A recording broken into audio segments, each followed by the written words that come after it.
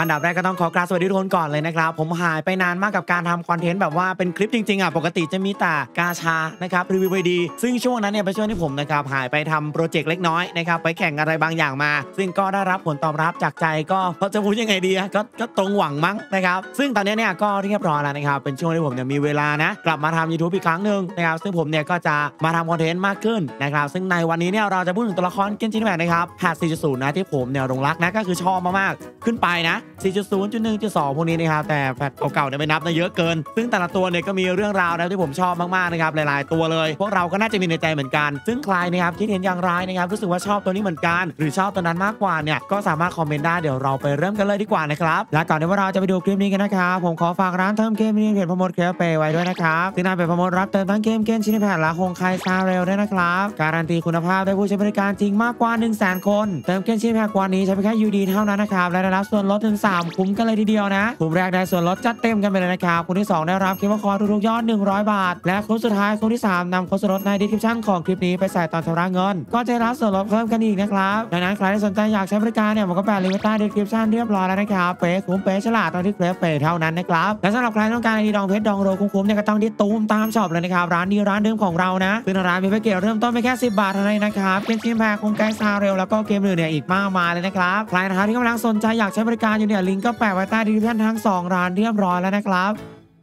ก็สำหรับในอันดับที่ 5ก็ตกเป็นของเจ๊ครินด์ละกันนะครับ ใครเห็นแล้วจะไม่ถูกใจนะครับ แน่นแน่นแน่นแบบหืมหายอกหายใจไม่ออกเลยทีเดียวเชียวนะครับ ถึงแม้ว่าตัวละครอย่างเจ๊เนี่ยก็เพิ่งผ่านไปนะครับ ก็สักพักหนึ่งแล้วนะครับซึ่งทุกคนก็น่าจะสงสัยนะครับทำไมผมให้เจ๊คลอรินด์อันดับที่ 5 นะครับ นอกจากความแน่นแล้วเนี่ยคือเรื่องของ gameplay นะครับ น่าเล่นมากๆนะครับส่วนตัวทุกคนอาจจะมองว่าก็ไม่ได้มีอะไรพิเศษปะเออก็กดตีตีตีกด E นะครับนะเลี้ยงบ่วงไปต่างๆนานานู่นนี่นั่นนะครับก็แค่นั้นหรือเปล่าแต่สำหรับผมแล้วเนี่ยผมชอบในส่วนของการแบบว่าเหมือนจะเป็นแอนิเมชันของเจ๊ด้วยนะครับเวลาเขากด ultimate เนี่ยก็แบบพุ่งมาในอันที่ชอบส่วนตัวไม่มีอะไรนะบ่อยเฉยและก็เรื่องของการเล่นกับ mechanic นะครับบ่วงพันธะชีวันเนี่ยก็น่าสนใจนะครับเพราะว่าต้องยอมรับว่าณปัจจุบันเนี่ยแพตช์ 5.0 แล้วใช่ไหมมันอาจจะเป็นอีกแบบหนึ่งแต่ในช่วงก่อนนะครับเราก็จะรู้สึกว่ามีความว้าวกับบ่วงพันธะต่างๆนะครับเจอมอนลักษณะนี้นะครับมีตัวละครลักษณะนี้เข้ามานะครับช่วงนั้นเนี่ยผมตื่นเต้นนะครับผมยอมรับผมตื่นเต้นแล้วก็โอ้อยากลองเล่นดูนะครับมีความไม่เข้าใจหลายๆอย่าง แล้วก็เรื่องของสถานการณ์บางอย่างนะครับที่เจ๊คลอรินด์เนี่ยก็ตอบโจทย์ดีมากนะครับเป้าหมายเดียวนี่คือสนุกสนานนะครับแล้วก็กับตัวละครอย่างไรเดนโชกุนด้วย ซึ่งผมเนี่ยรู้สึกว่าทั้ง 2 ตัวเนี่ยมันอาจจะเทียบกันตรงๆยากนะครับเพราะว่าไรเดนโชกุนก็มีจุดเด่นหนึ่งของเขานะครับแล้วก็คลอรินด์เหมือนกัน ดังนั้นใครอวยเนี่ยกดได้ได้ได้ได้ตามใจเลยนะครับไม่อยากเอามาเทียบกันตรงๆเจ๊คลอรินด์เนี่ยอย่างว่านะครับเป็นตัวละครที่เป็นทั้งตัวโจมตีนะครับแล้วก็สามารถสนับสนุนให้ทีมได้ด้วยนี่ก็เป็นหนึ่งข้อที่ผมชอบนะครับหรือแม้กระทั่งความหลากหลายในการเล่นนะครับเจ๊คลอรินด์เนี่ยสามารถเข้ากับสถานการณ์ต่าง ๆ ได้ค่อนข้างที่จะเยอะนะครับหรือแม้กระทั่งส่วนที่มันโดดเด่นนะครับก็คือเรื่องของดีไซน์แล้วก็ความอุ้ยมันพูดยากนะความน่ารักเนี่ยมันถือเป็นความอะไรเนี่ยความเพ้อฝันที่แบบอยากได้เธอมาครอบครองด้วยนะครับความสง่างามนะครับมันมันที่สุดอยู่แล้วนะครับนะผมรู้สึกว่ามันคือเดอะเบสนะครับดูมีพลังนะครับความน่าดึงดูดที่ไม่เหมือนใครนะครับมีลุคแบบขึมๆเข้มๆนะครับเป็นลุคที่ทัดใจเหลือเกินนะครับอืมโอ้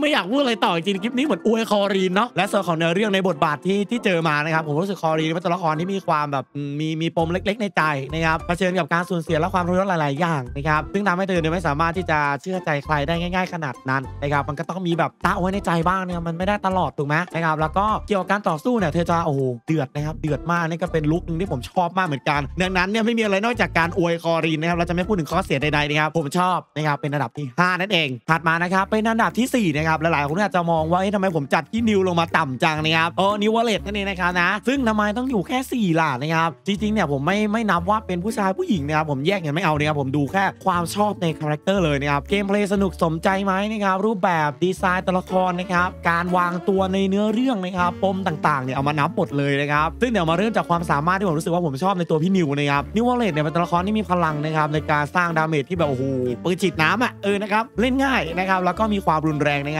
ใช้ทรัพยากรอาจจะระดับหนึ่งแต่ก็คุ้มค่าที่จะปั้นมาอย่างแน่นอนนะครับแล้วก็ใน Abyss เนี่ยไม่พูดถึงไม่ได้นะครับพี่นิวคือ the best of the real time นะครับแบบณปัจจุบันเวลานี้ตอนนี้หรือเมื่อไหร่นะครับก็เล่นได้เสมอ แล้วก็ยังมีสกิลในการ combo อย่างต่อเนื่องนะครับเล่นกับทีม Hyperbloom นะครับหรือจะไปใส่โล่จงหลียืนกับทีมไหนก็โอ้หลากหลายนะครับเล่นกับน้องฟูรีน่าก็ได้นะครับอันนั้นผมจบไปละเรื่อง damage ไม่มีใครพูดถึงพี่นิวแล้วนะครับแล้วก็ความหลากหลายในการเล่นนะครับสำหรับพี่นิวแล้วเนี่ยผมรู้สึกว่าก็เล่นได้กับหลายทีมอย่างที่พูดเลยนะครับไม่ว่าจะเป็นทีม Hyperbloom อย่างที่บอกนะครับหรือจะเป็นแบบว่าเล่นกับ National ธรรมดากับพวกเบนเน็ตพวกนี้ก็ได้นะครับแต่จะระวังเรื่องการกระเด็นหน่อยถ้าไม่มีโล่อะไรแบบนี้นะครับนะดังนั้นเนี่ยความหลากหลายนะครับก็ระดับหนึ่งละกันอาจจะไม่มากที่สุด แต่ผมว่าเอาไป mix ได้เยอะนะครับเพราะตัวพี่แกตัวเดียวก็ก็เรียกว่าทีมอยู่แล้วนะครับดังนั้นจะใส่ใครสามตัวก็ก็แล้วแต่คุณนะครับและเรื่องของดีไซน์ตัวละครแล้วก็ความสุขุมสุเข้มสุหลอกคืออะไรอะไรคือสุเข้มสุหลอก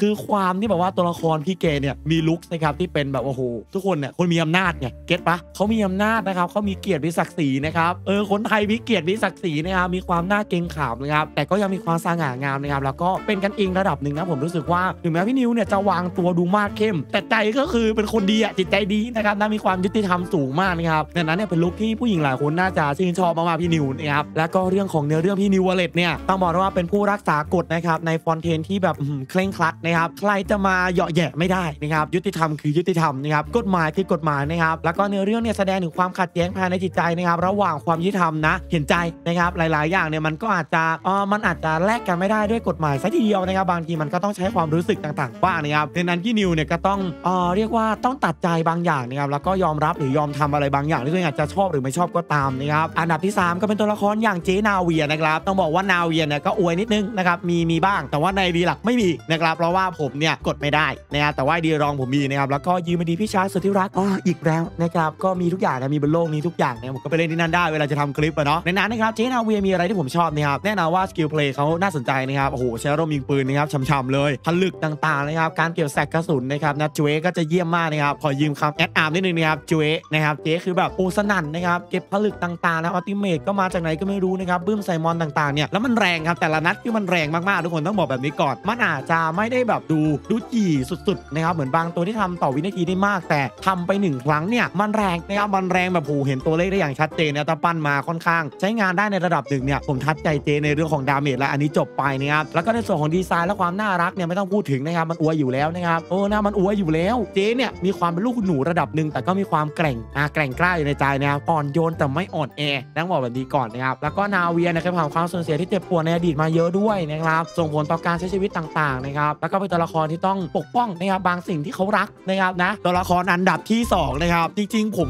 ช่างใจกับอันดับที่หนึ่งมากนะครับแต่ผมก็รักอันดับที่หนึ่งมากกว่าอยู่นะต้องบอกแบบนี้ก่อนก็มันไม่ใช่ว่าไม่รักน้องฟูนะครับแต่อันดับที่หนึ่งมันทัดใจผมมากกว่า แต่น้องฟูเนี่ยเอาจริงนะตอนเล่นเนื้อเรื่องเนี่ยผมเล่นเองไปรอบหนึงแบบอ่านไปแล้วนะครับแล้วก็เพื่อนผมนะครับชื่อวรพัฒน์เนี่ยมันเล่นแล้วมันมาเล่าอีกนะผมซึมซึมพอสมควรนะครับกว่าจะผ่านจุดในส่วนของเนื้อเรื่องฟูริน่าได้มันก็ต่อเนื่องกันแล้วก็ดีขึ้นเรื่อยๆนะผมรู้สึกชอบคือน้องเนี่ยเป็นตัวละครที่เก่งนะเก่งทั้งในในใจผมและเก่งทั้งในเกมจริงๆนะครับก็คือตัวละครน้องเนี่ยเป็นตัวละครที่ช่วยในสองบรรทัดช่องกลางได้ดีมากๆนะครับมีซีฟู้ดนะครับที่ตีแรงสุดๆนะครับแล้วก็มีพลังสสารต่างๆ ใช่ไหมเขาเรียกว่าอะไรผมลืมชื่อไปแล้วนะครับต้องขออภัยผมอาจจะจำรายละเอียดได้ไม่ครบถ้วนนะครับนะน้องก็ค่อนข้างที่จะน่ารักนะครับแล้วก็รวมทั้งยังเก่งในทั้ง Abyss นะครับเล่นนะครับในอีเวนต์ต่างๆ จบรับจบตัวเดียวนะครับอยู่กับพี่นิวคือไปกันโอ้โหหัวบึ้ดก้นบึ้ดนะครับแค่ไม่ต้องพูดถึงนะครับไม่ต้องพูดถึงกันเลยทีเดียวดังนั้นก็ support ได้เป็นอย่างดีนะครับแล้วก็สามารถทำ damage ได้ในเวลาเดียวกันด้วยนะครับ ในน้องสาวคนนี้คนเดียวเลย ความหลากหลายแน่นอนสบายนะครับไม่ต้องห่วงไม่ต้องพูดถึงนะครับโอ้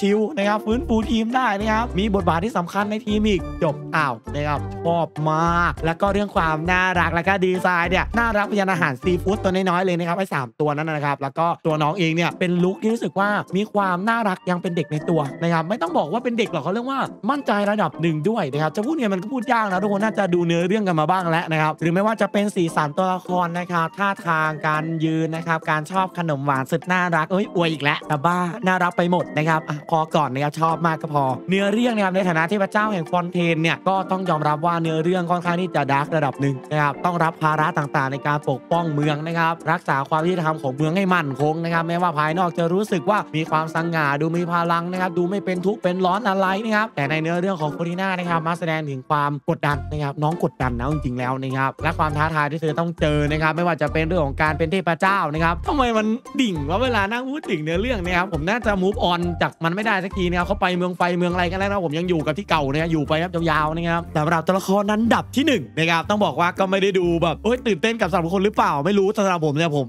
ผมยกให้ในใจคือท่านพ่อทำไมถึงเป็นท่านพ่อนะครับ Arlecchino เนี่ยถือว่าเป็นตัวละครที่ทุกคนต่างเฝ้ารอมานานมากแล้วพูดถึงนานนะตัวนี้นะครับด้วยความเป็นหนึ่งในตัวละคร Fatui นะครับทำให้เธอมีลักษณะที่ลึกลับนะครับอาจจะามองแล้วไม่รู้ในใจคิดอะไรนะครับแล้วก็มี skill ด้านการสร้าง damage ที่ต่อเนื่องนะครับก็แรง Abyss ไม่ต้องพูดถึงนะครับท่านพ่อใครไม่กดไปกดเดี๋ยวนี้คุ้มมาก rerun เมื่อไหร่อย่าพลาดละกันนะครับความหลากหลายในการเล่นท่านพ่อนะครับก็สามารถเข้ากับสถานการณ์ได้เยอะนะครับก็หยิบไปนะครับระยะประชิดหน่อยนะครับแล้วก็เรื่องของการ combo เนี่ยกับสตูที่มีติดติดกันนะครับก็โอเคมากนะครับนะ damage จัดมากๆเลย และเรื่องของดีไซน์ตัวละครนะครับแน่นอนว่าเป็น look เงียบขรึมที่ว่าต่างจากพี่นิวนะอันนี้เงียบขรึมดูแบบโอ้โหทรงแบบเออเป็นผู้มีอำนาจเนาะแต่อันนี้คือเงียบขรึมแบบกูจะโดนฆ่าเมื่อไหร่ไม่ใช่นะครับเงียบขรึมแบบว่าดูไม่รู้ว่าคิดอะไรอยู่นะครับดูเหมือนว่าตัวของอาริคิโน่เนี่ยเหมือนแบบมีอะไรในใจเยอะเออเขาอาจจะอยากทำแบบนี้แต่แสดงออกแบบนี้นะพวกเราอาจจะเห็นแบบความกุ๊กกิ๊กในเนื้อเรื่องบางอย่างนะแต่ว่าเนื้อเรื่องหลักของเขาเนี่ยก็ก็เด็ดเดือดนะครับเด็ดเดือดเด็ดดานมากๆนะครับมีความแข็งแกร่งนะครับสง่างามนะครับมีความน่าลงไหลแล้วก็บอกเลยทุกคนน่าจะ